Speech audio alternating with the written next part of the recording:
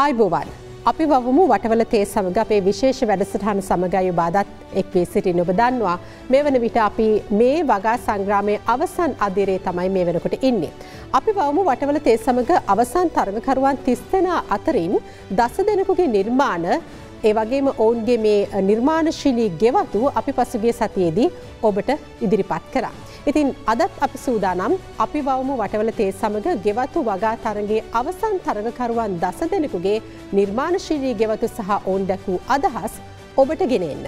අද දවසේ අපි මුලින්ම යන්නේ අනුරාධපුරයට. අනුරාධපුර ඇලයාපත්තුව නිලන්ත ඉන්දිකද සිල්වා යහතුගඩ මහතාගේ හරිතාගාර වගාවයි මේ.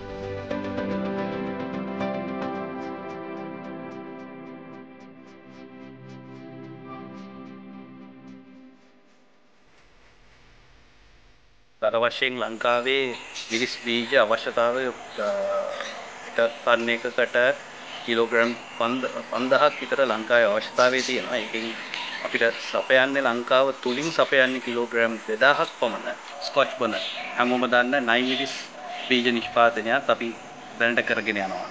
මේ ග්‍රීන් හවුස් තුලම.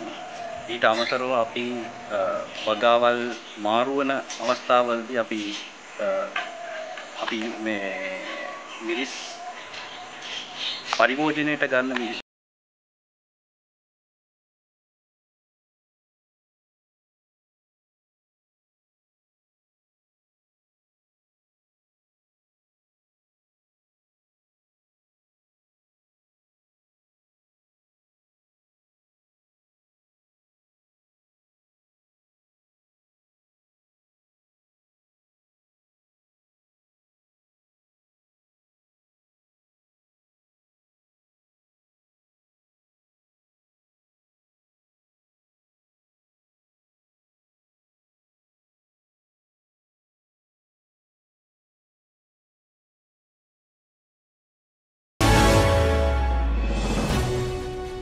අපි මීළඟට බලන්නේ පාසල් සහ ආයතන තරග කාණ්ඩයෙන් තරග වැදුණු බුත්තල ප්‍රාදේශීය ලේකම් කාර්යාලයේ ගෙවත්ත.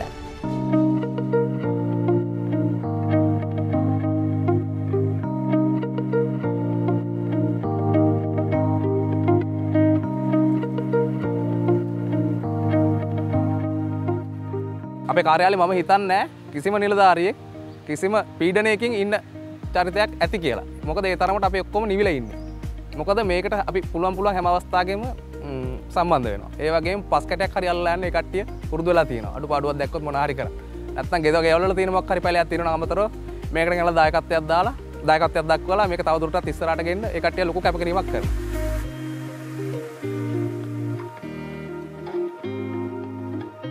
කෘෂිකර්මාන්තය කියන එක අපි අපේ අතීතයේ ඉඳලම අපට හුරුපුරුදු දෙයක්. ගෙවත්ත කියන සංකල්පය එකත් එක්ක බලනකොට අපට නුහුරුණු පුරුදු දෙයක් නෙවෙයි. ඉතින් ඒක නිසා මං ඉල්ලීමක් කරනවා සියලු දෙනාගෙන්ම මේක තරගයකට සීමා කරන්න නැතුව. කියන්නේ රැල්ලක් නොවී පුරුද්දක් බවට පත් කරගෙන මේක එදිනෙදා අපේ අවශ්‍යතා සපුරා සඳහා අපේ ගෙවතු ටික සංවර්ධනය කරගමු කියලා ඉල්ලීමත් මේ අවස්ථාවේදී කරන්න කැමතියි.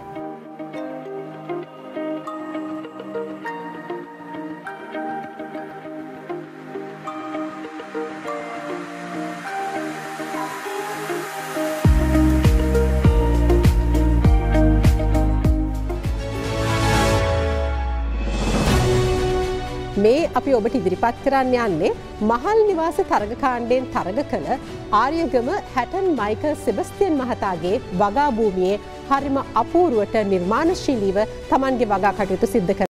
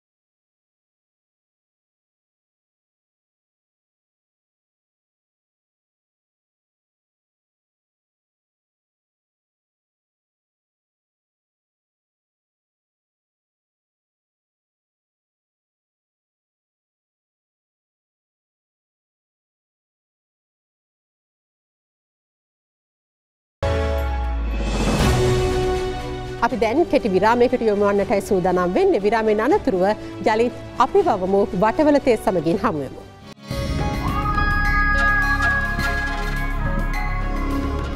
විරාමෙන් අනතුරුව ඔබ නැවතත් එක්වේ සිටින්නේ අපි වවමු වටවල තේ සමග අපේ විශේෂ වැඩසටහනත් එක්ක. අපි දැන් සූදානම් වෙන්නේ මාදුරු ඔයගම මකුල් වැව කෙනිත් ජයරත්න මහතාගේ පර්චස් විස්සට වැඩි වගා භූමිය කොයි ආකාරයටද වගා කරලා තියෙන්නේ කියන කාරණය ඔබටත් පෙන්වන්න.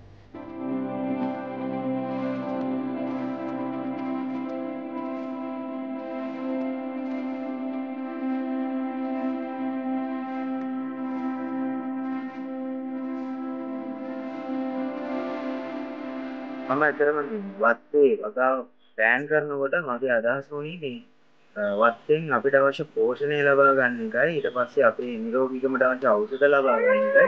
ඊට පස්සේ අපේ මානසික නිදහස ලබා ගන්න එකයි. ඔය තුන ප්ලෑන් කර කර තමයි මම වත්ත ප්ලෑන් කරේ. එතනදී මම එළවලු ඇතරම් බොහොමයක් තියෙන අපේ 30ක් 40ක් විතර වගේ එළවලු වර්ග තියෙනවා ඊට අමතරව කුළු බඩු වර්ග ඊට පස්සේ ඖෂධ වර්ග ඒවත් වගේ ඔත්තේ වගා කරලා තියෙනවා. ඊට අමතරව පළතුරු වර්ග පළතුරු අපි පුළුවන් හැම වෙලාවකම අලුත් පළතුරු පැලයක් ගෙනල්ලා හිටවනවා. මම හැම වෙලේම පළතුරු පැලයක් වුණත් හිටවද්දී මේ අපේ වකාවට තියෙන එක නැති වෙන විදියට නෙවෙයි. ඒක ආරක්ෂා වෙන විදියට තමයි මේ වගාව කරගෙන යන්නේ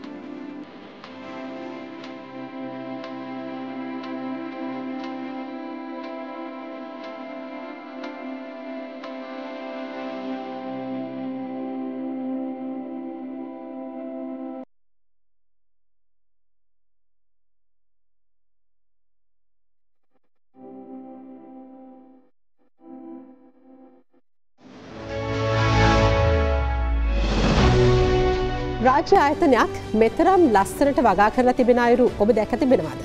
ඔබට බලාගන්න පුළුවන්. මේ පාසල් සහ ආයතන තරග කාණ්ඩේ තරග වදින නයින මඩම ගොවිජන සේවා මධ්‍යස්ථා.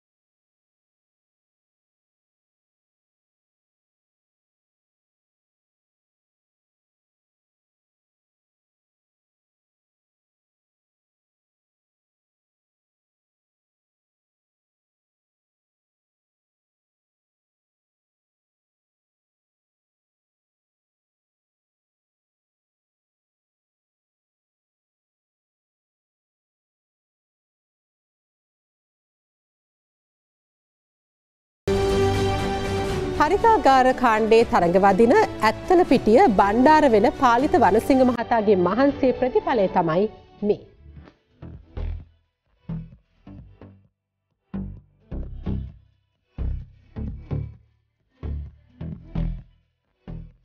මං කලින් නම් ඇතට මල්වගාව තමයි මල්වගාවින් තමයි පටන් ගත්තේ කොවි තැන අපිට තිබේ පොඩි පර්චස් දායක විතර ඉඩමන් නිසා ඒකෙන් මල්වගාව කරගෙන යනකොට ටික ටික දියුණු වෙලා මං මේ මේ තත්දැන්නම් මේක ලොකු ඉඩමක්. තව උල්කාරයකුත් එකතු කරන විශාල වශයෙන් අපි දැම් මේ කරගෙන යන්නේ.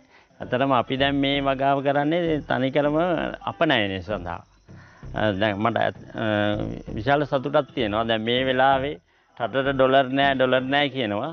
ඇතරම බැලුවොත් අපි අඩුම ගානි සතියකට දෙදහ ඩොලර් සතියට දෙදහත් තුන්දහත් අතර ප්‍රමාණයක් රටට ගෙහෙනවා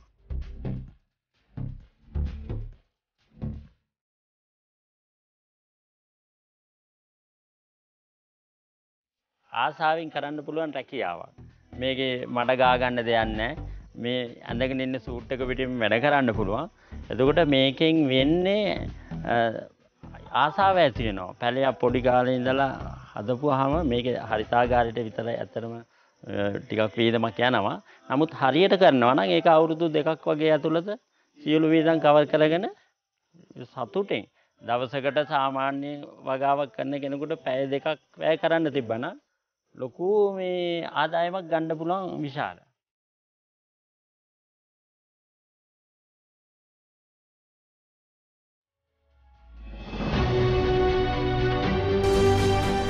අපි කෙටි විරාමයකට යොමුවන්නට සූදානම් වෙන්නේ විරාමෙන් අනතුරුව නැවතත් අපි හමුයමු.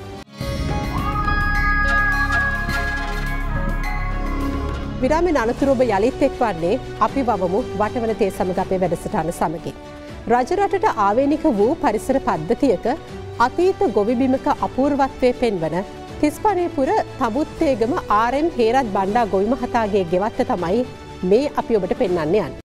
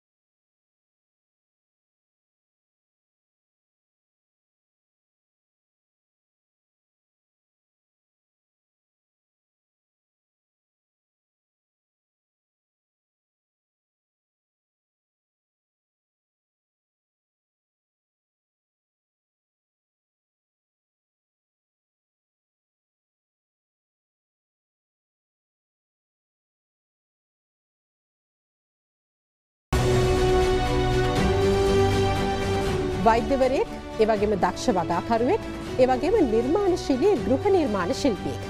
තමන්ගේ ගෙදර ඉහළ මාලය වගාවෙන් හැඩ කරපු වැලිවේරිය මාතර රංජිත් මෙන්ඩිස් මහතාගේ දක්ෂතාවය තමයි මේ.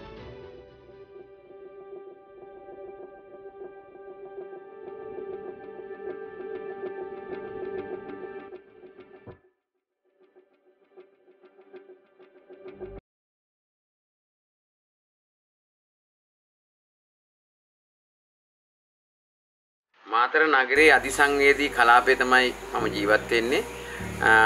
ඒක නිසා මාතර නගර සීමාව තුළ කුණු ප්‍රශ්නයක් තිබ්බා. ලොකුම කුණු එකතු වෙලා ගඳ ගහනවා නගර සභාවට එම සැලසුමක් නැහැ. කුණු ටික අපහරණය කරගන්න මේ ප්‍රශ්නෙට උත්තරයක් විදිහට තමයි මම ඇත්තටම මුලින්ම හැදුවේ බයෝගෑස් යුනිට් එකක් හදලා මේ අපේ දිරන අපද්‍රව්‍ය මුළු ටැංකියේ සහ අවට ගෙවල් වල දිරන අපද්‍රව්‍යත් අරගෙන මම බයෝගෑස් හැදුවා. පළවෙනියම කරේ ඒක. ලොකු බයෝගෑස් යුනිට් එකක් පල්ලේ හදිනවා. ඒ බයෝගෑස් යුනිට් එකට දාලා බයෝගෑස් හදනකොට දියර පොහොරාව අමතර ප්‍රතිඵලයක් විදිහට මම ගෑස් ලබා ගත්තා. ඒතර අපි අර කුණු ප්‍රශ්නෙට උත්තරයක් හම්බුණා. ඒ ඒ කුණු ප්‍රශ්නෙට හම්බෙච්ච උත්තරෙන් උත්තරෙත් එක බයෝගෑස් එකේ අමතර ඵලයේ විදිහට අපිට කාබනික දියර පොහොර හම්බුණා. මේ දියර පොහොර වලින් මම ටික ටික ටික ටික වගාව කරන්න පටන් ගත්තා. ඊට පස්සේ මම සැලසුම් කරලා උඩු මහල සම්පූර්ණයෙන්ම සැලසුම් කරපු ගෙවත්තක් බවට පරිවර්තනය කරා.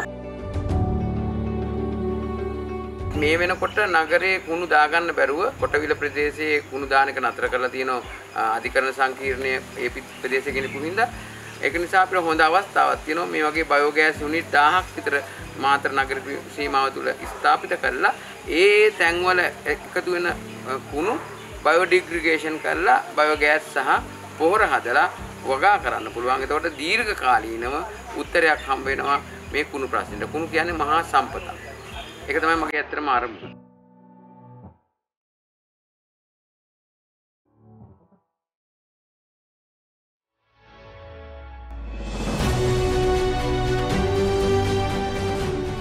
පොලිසිය කියූ සැලින් අපිට ඇතිවෙන්නේ පැතිගැන්මක්. එහෙමද. එහෙම විය යුතු නැහැ.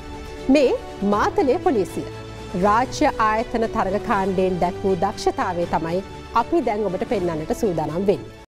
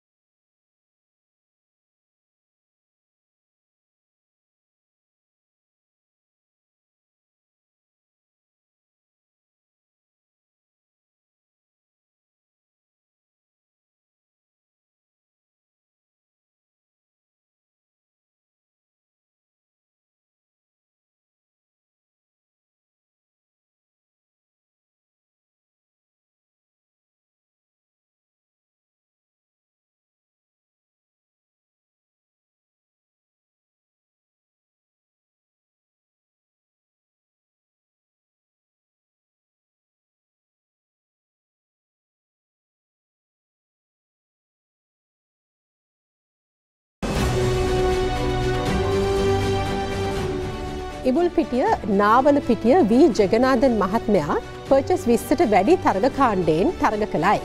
ඔහුගේ උත්සාහයත් අපි බලලයි.